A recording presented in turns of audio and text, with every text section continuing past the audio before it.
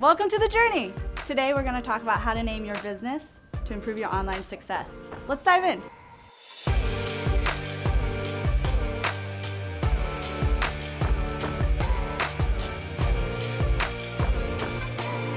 Hey, I'm Emma, your GoDaddy guide, and I head up our local outreach over at GoDaddy Social. So, very cool gig. But today I'm excited to be joined with my friend over at GoDaddy, Justin Neely. Hey, what's up? Thanks for having me. Super excited to be on here. Let's dive in. Yeah, actually, it's perfect timing because Okay. I was on the road recently talking to local heroes, and they're so passionate, and I love what they do. It brings me so much joy, uh, but I can't but help to catch that bug. Like, I want to own a local business too. Yeah. And I've had this idea back in my barista days because I love coffee. It's like, okay, coffee's cool. I'm gonna open up a coffee shop, but how am I gonna make this Right, unique? there's a lot of right? There's a lot of coffee, yeah.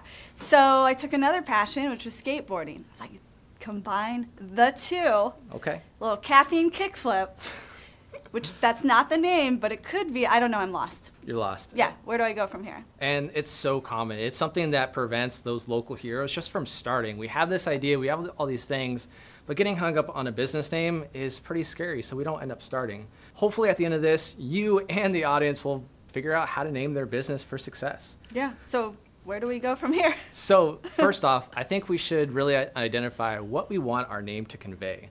For you, it's probably going to be like gnarliness and radness and everything related to, to skateboarding and that coffee experience. Mm-hmm. But for the audience at home, maybe it's trustworthiness or confidence or reliability. Really, when you're thinking about your name, what do you want it to stand for? That first thought. So, step two is what I like to call a- just a brain dump. This is where you're literally just getting a piece of paper and a pen. We're gonna go old school for you guys at home, but for us, we got a tablet here. Are you up for an activity? Wait, like right now. Right gonna bring- Okay, let's do it. All right. All right. I'm so stoked. So stoked. So once you have whatever you're gonna write on, uh, you basically just dive right in. And what I like to do to make sure I Like a just, stream of consciousness, right? absolutely Okay. set a time limit, maybe three or five minutes. That way you really hone in on what you want to really That seems like Discover, a limited amount of time, though. You'll think that, but once you start going, at the pen going, it's just going to go off. Okay. So while you're doing this, some things to keep in mind uh, with with your business name, you really don't want it to be too long of a domain name. What's too long? Does it pass the radio test?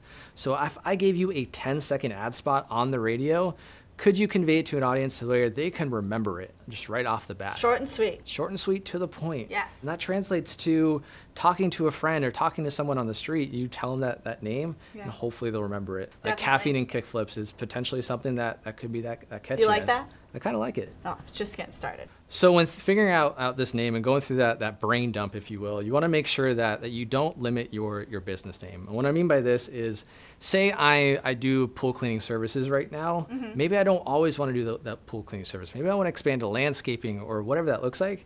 But if I name my business Neely's Pool Service, I'm stuck with just being a pool service guy. Right. What you don't want to do is make it a trendy name. Remember those fidget spinners? That literally but- everybody had? I never touched it. Right? You never touched a fidget spinner? I mean, guilty. But those it was a fad, right? They came and went. I knew a couple of people that started a business around fidget spinners, Yeah. and now they're lucky to send ten a month. So But stay coffee is like here to stay. It's not going anywhere. Absolutely. So another thing to keep in mind too, maybe this could be considered a, a cool acronym, right? Like you have kickflips and coffee here. That could be K and C, right? Ooh, that yeah. might be pretty rad, Yeah, keep it clean. Keep it clean. I can already picture simple. the hats and the t-shirts. right? Just yeah. super fresh. Oh, now I'm thinking what font too. baby steps. We're, on- we're just not naming it. You're, you're trying to go out there. How much time we got? Uh, stay away from either obscure words, words that are hard to pronounce or hard to, to spell, or just just terrible spelling. Mm. Like coffee, you could probably do coffee with a K, but it's gonna be hard to remember, I've right? seen that. Especially you want to do coffee and kickflips. It's pretty tempting to have just K there. Oh, that's true. But I could play off I would kick avoid flips. it. Really? Why? Absolutely, it's it's hard to spell. Justin, that reminds me. What? Because I know we're talking about websites and Okay. names, but you know me and social media. Oh, it's your jam. Yeah, it's my jam. So I'm already thinking about Facebook, Twitter, and Instagram. 100%. And I want this name to be available on all three, right? So it's Yeah. consistent.